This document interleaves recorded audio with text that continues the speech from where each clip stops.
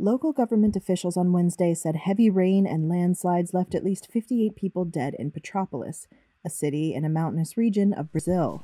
The downpour flooded city streets after rainfall on Tuesday exceeded expectations for the entire month of February. The floods destroyed homes, left vehicles in ditches, and displaced more than 300 people. Rescue teams are still searching for survivors. Locals are working to clear city streets and buildings damaged by rain and mud. Regiane Diaz is a merchant in Petrópolis.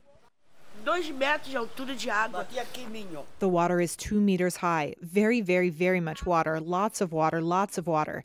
Nobody has ever seen this. We've never seen anything like what happened here yesterday. I don't know what to say. We lost everything, a total loss. President Jair Bolsonaro, who was in Russia to meet with President Vladimir Putin on Wednesday, said he had spoken with officials to secure assistance to the city. Since December, heavy rains have triggered deadly floods and landslides in northeast Brazil and Sao Paulo state.